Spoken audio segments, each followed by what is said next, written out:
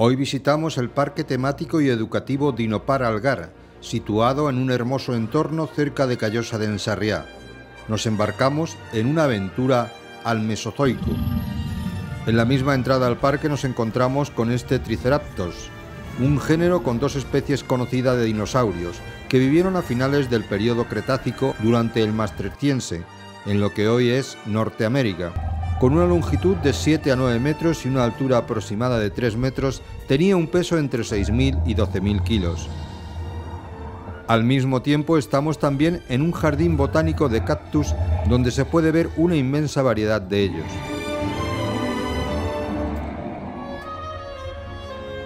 El iguanadón del Cretácico inferior de Europa destaca por sus grandes garras en los pulgares que fueron utilizados posiblemente para defenderse de los depredadores combinadas con los quintos dedos prensiles largos capaces de buscar comida.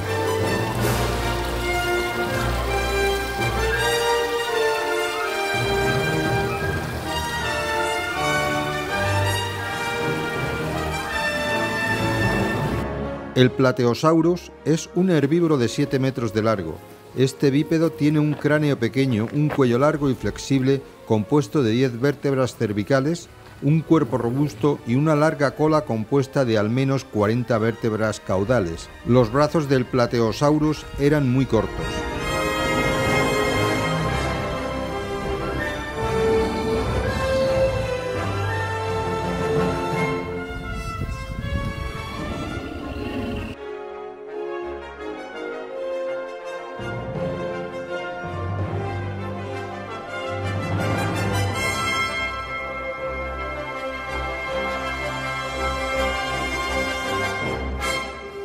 Petenarodón.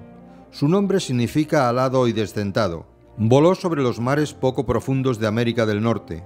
Era un reptil volador que vivió durante la época de los dinosaurios. No era un dinosaurio, sino un pariente cercano. Dinopar revela el hasta ahora desconocido mundo de los dinosaurios en donde los jóvenes se divierten y adquieren nuevos conocimientos sobre la historia de nuestro planeta otra variedad de iguanadón con su nido de huevos.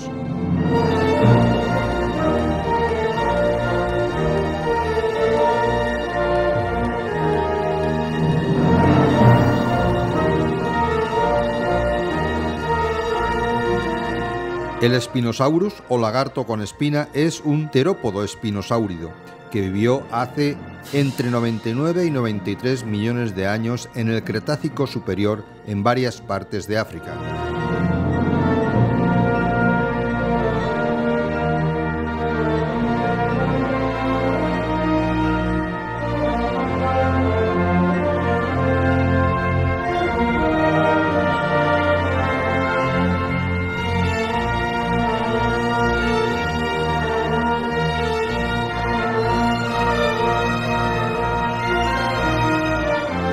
El Brontosaurus es un dinosaurio saurópodo perteneciente a la familia Diplodocidae.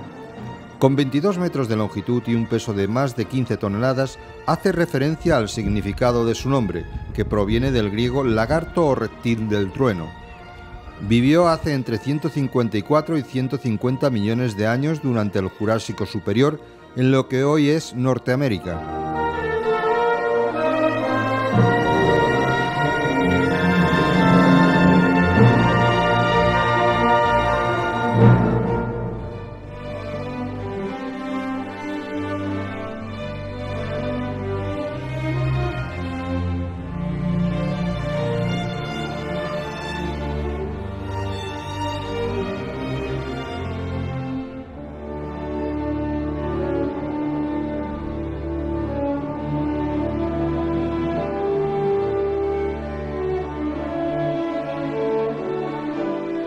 El Carnotaurus es un género de dinosaurio terópodo que vivió en América del Sur durante el periodo Cretácico superior. Conocido por un solo esqueleto bien conservado, es uno de los terópodos mejor conocidos del hemisferio sur.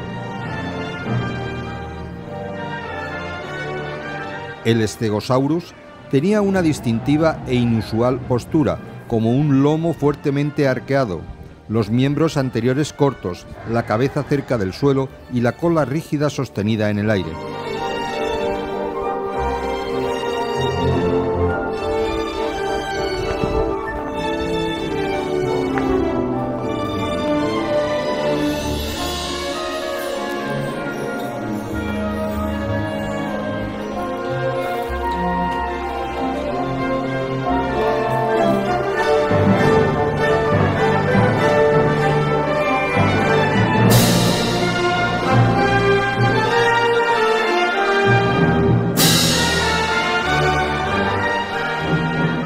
Morelladón beltrani es una nueva especie de dinosaurio ornitópodo que habitó en la península ibérica hace poco más de 125 millones de años, con una longitud estimada de 6 metros, una altura de unos 2,5 metros y 2 toneladas de peso.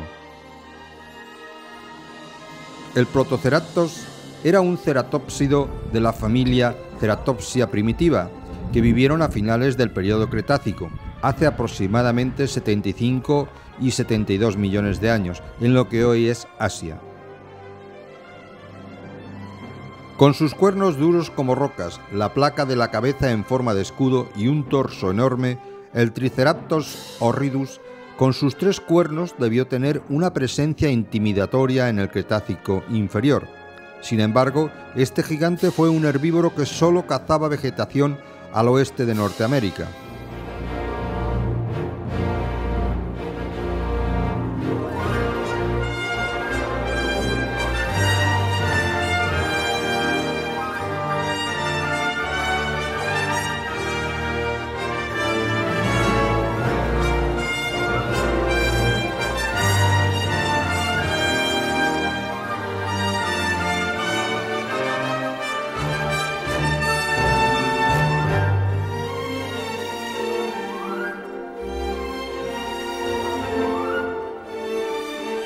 Esta especie de Deinonychus podría crecer hasta 3,4 metros de largo.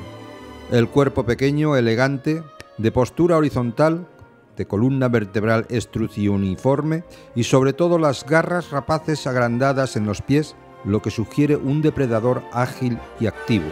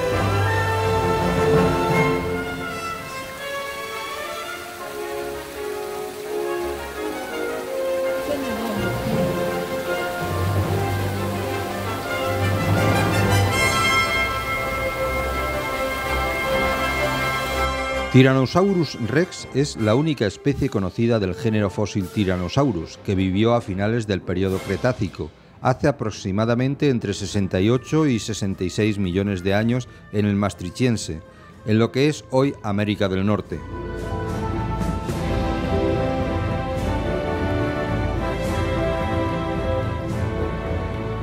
El Brontosaurus era un animal cuadrúpedo, grande, dotado de un cuello largo y larga cola en forma de látigo.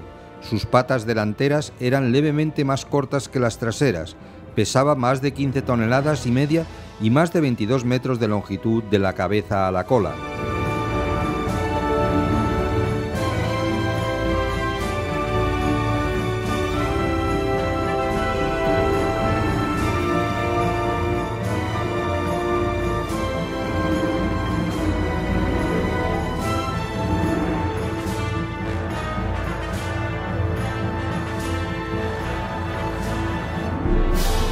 El velociraptor fue un carnívoro bípedo, con una cola larga y rígida y unas garras grandes con forma de hoz en cada pata que probablemente le facilitaba el matar a sus presas. A diferencia de otros dromeosáuridos, el velociraptor poseía un cráneo bajo y alargado y un hocico chato dirigido hacia arriba. Poseía patas traseras de gran longitud, lo que expresa, al igual que el nombre, su aparente gran velocidad.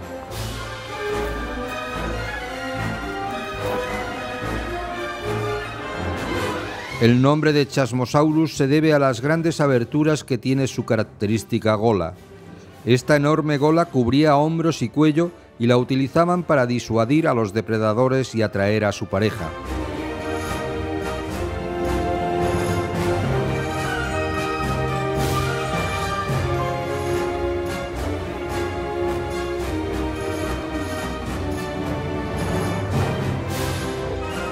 El dimetrodonte no era ni un reptil ni un mamífero, sino un cruce evolutivo al que llamamos pseudomamífero, que vivió desde Alemania a Texas cuando solo existía un solo continente, Pangea, entre 290 y 265 millones de años aproximadamente, bastante antes de los dinosaurios.